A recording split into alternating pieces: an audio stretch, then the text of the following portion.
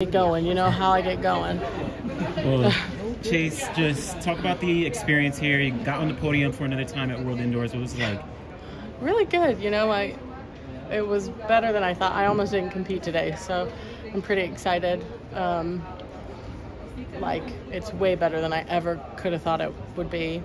I know, like most people would be like, "Oh, like you're a world champion," like, but this was like quite a lot for me because I had to change my technique last minute and stuff because um, what happened to me yesterday. So I'm pretty, pretty. I'm really happy. Like I'm so happy. What happened yesterday?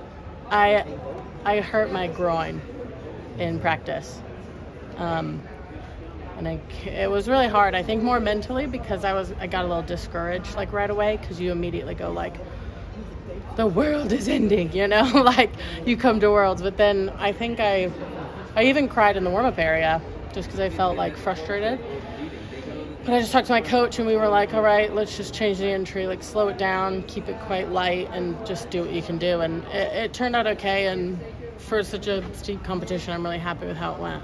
Is there any fear, like with Paris on the horizon, of making things worse by going out there and competing with that? That was a big issue. Like that was what I was worried about. But I talked, obviously, I talked to my medical staff. They're really good, and and they wouldn't have let me go out there if they thought it would have done anything. And with the with what they're thinking it is, it, I don't think it would have been a difference. So they were like, just kind of play it. Like if you start feeling this or that, then obviously just stop. Yep. But I didn't. It felt fine. Um, but yeah, they they're really good about that. They they had me ready as well last night. They, you know, they were like, I just, we're trying to mentally prepare you for maybe not being able to compete. But, you know, I, I figured it out and I'm, I'm pretty happy about it. It, it.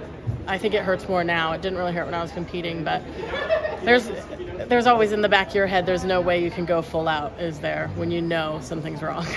Yeah, I was gonna say, like, as you're going through the rounds, were you thinking like, oh, I'm a little bit worried, or were you locked into the competition? I feel I was, I was pretty locked in and like I'm, I'm, I was like feeling good. It didn't really hurt. It's starting to hurt now, I think, because the adrenaline wears off. But like, I felt super good. But I just know subconsciously, like, I could tell in, in the way my throws were that I wasn't doing all I could do.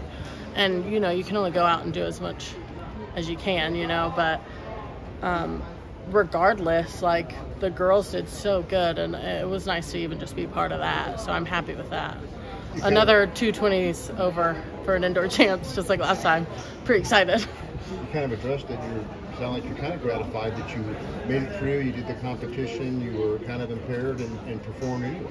Yeah, I think that, like I said, like I think um, I was telling my coach, like I'm more happy that I was able to, like, I was probably like the most excited bronze medalist you'll you'll ever see because I was just like, oh my god, like I was able to change my throw the night before and even the day of, and I was able to like make it work.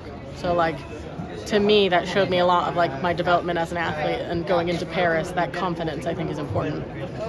Dat is verschrikkelijk. Ik denk dat,